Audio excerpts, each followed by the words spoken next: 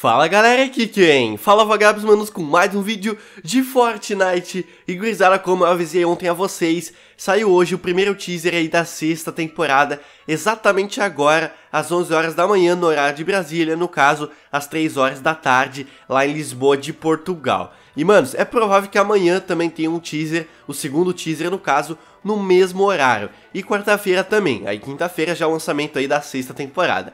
E olha só, manos, a primeira imagem que ele divulgaram a respeito da nova temporada é essa imagem aqui, onde tem o cubo, né, dá pra ver o cubo no fundo, e tem uma lhama, manos, é, uma lhama, e pelo jeito, essa lhama pode ser alguma skin aí do passe de batalha da próxima temporada, ou uma skin, digamos que da loja de itens do jogo, indicando um tema mais, assim, de lhama. Essa skin de lhama, se eu não me engano, teve um usuário no Reddit que criou uma concept bem parecida, então pode ser, né, que seja realmente uma skin que venha na próxima temporada. Eu acho que é do passe de batalha, porque geralmente eles colocam como a primeira imagem do teaser alguma coisa relacionada com o passe de batalha. Na temporada da 3 para 4, se eu não me engano, foi o Carboneto a primeira imagem, aí da quarta para quinta foi o rosto do Atemporal, que também é do passe de batalha, e agora tem essa lhama, que é possível que seja, né, a primeira skin do passe de batalha da sexta temporada. Mas então é isso, galera, deixe aí sua opinião nos comentários, se você acha que essa skin aí não é do passe, seja somente da loja, ou está indicando algum novo tema aí do mapa.